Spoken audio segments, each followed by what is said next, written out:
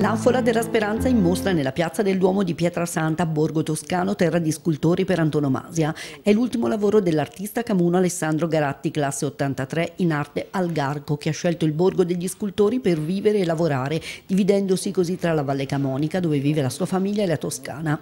L'Anfora è per così dire il suo brand del momento. L'Anfora per lui è la metafora della vita, ma anche della forza che in ogni situazione della vita possiamo trovare. Infatti l'ultimo lavoro di Algarco è l'Anfora ai tempi del coronavirus, una grande scultura in bronzo ossidato che prima di arrivare nella piazza di Pietrasanta insieme alle opere di altri dieci artisti è stata immersa in una vasca contenente acqua di mare e lasciata riposare per tutto il periodo del lockdown, una scultura che simboleggia la speranza, la sopravvivenza, la vita e le ferite che in questo momento storico sta lasciando sulle persone.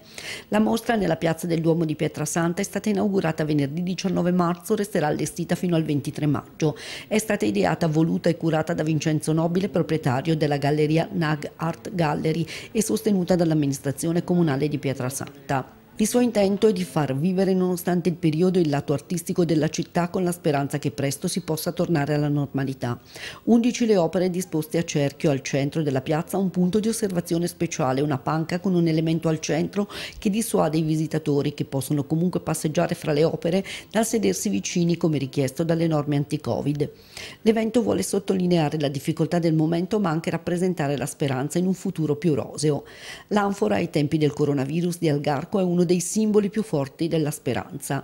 Prima di arrivare in piazza, l'anfora dell'artista Camuno ha fatto un lungo viaggio dentro se stessa e dentro l'acqua, simbolo di purificazione vita ed è rinata in mostra. Così dovrebbe fare ognuno di noi, trarre linfa vitale dalla pandemia e dai lockdown per rigenerarsi e diventare speranza per il mondo?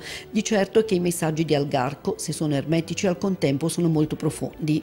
I suoi lavori nascono da una profonda ricerca e anche l'elaborazione dell'anfora della speranza, documentata e seguita scritta dal regista versigliese Tommaso Barbieri, sono sue le immagini che state vedendo, è frutto di un lungo lavoro e del pensiero di Algarco, un artista in cammino che nonostante sia restio a parlarne ha già avuto numerose soddisfazioni, come quella di esporre a fine 2019 una sua opera alla Biennale Sacra del Vaticano ospitata a Mentone.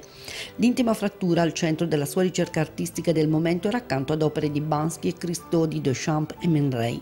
Il 2019 soprattutto è stato per il nostro giovane artista un anno anno particolarmente intenso che l'ha visto esporre a Palazzo Medici a Firenze, a Palazzo Zenobio a Venezia, al Musa di Pietrasanta e nel campanile di Pietrasanta, ma anche l'estate scorsa ha tenuto varie mostre. Il 2021 si è aperto con questa collettiva.